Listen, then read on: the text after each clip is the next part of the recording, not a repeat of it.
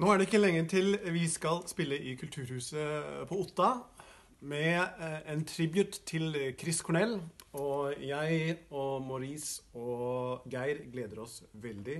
Det er nå på torsdag, og håper vi ses der.